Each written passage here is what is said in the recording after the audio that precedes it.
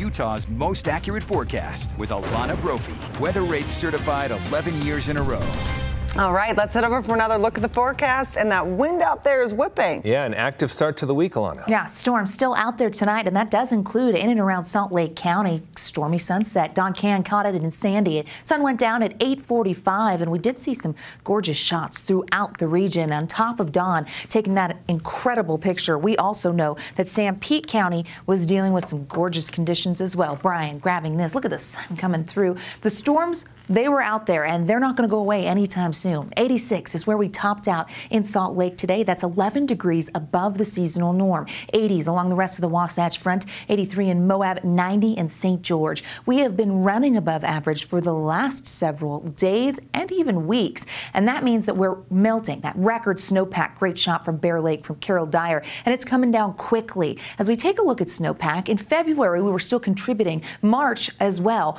We had our record hit in April, but then the warmth set in, and boy, have we rapidly melted that record breaking snow. 7.7 inches for our snow water equivalent still up there. That translates to plenty of snow. Feet of snow still to come down. Flood alerts in effect. Bear River near the state line, Sevier River near Hatch, and the Ogden River on the backside of the Wasatch. Flood watch, where we could potentially see flooding, includes the Little Bear River and the Weber River near Plain City, and flood advisories, where minor flooding is occurring towards Corinne, that portion of the Bear River on the eastern side of the state, and for the Green River near Jensen in Uintah County. All right. Showed you a dry lake picture from Chris Williams. Scott Taylor was also up there. Look at how crystal clear that water is, but it was hazy.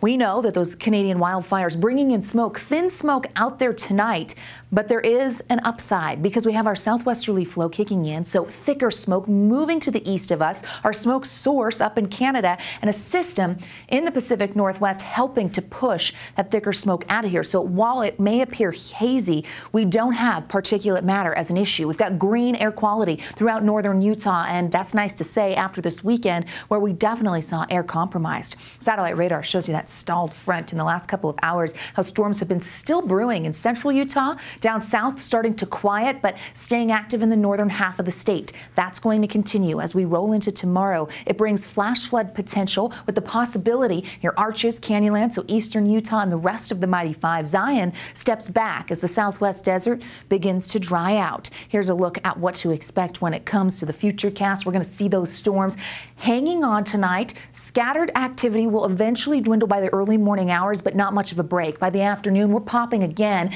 It is northern Utah, so we're going to see some stronger storms tomorrow. Active skies with heavy rain, thunder, lightning, and some gusty winds. And we stay with that pattern through the evening hours and then into Wednesday. Now, notice how southern Utah stays quiet. We start Wednesday fairly quiet, but then scattered activity holds on. So we've got to be very careful as the system in the Pacific Northwest meanders through the Great Basin. Excessive rainfall, there's a marginal risk for it for the northwestern corner of the state and a portion of the Wasatch Front, meaning that these thunderstorms could pack a punch. So if you've got Baseball, graduation, you want to be out and about, just be careful. 70s and 80s for those daytime highs. We see that on the eastern side of the state, upper 70s in Cedar City, low 90s down there in St. George, where the next seven days shows the warmth, where we stay dry. Just take a look. St. George seven day for Memorial Day weekend, slightly above average for the temperatures but plenty of sunshine. Wasatch Front, a bit of a different story. Scattered storms for the next two days, closing out the work week with more isolated activity.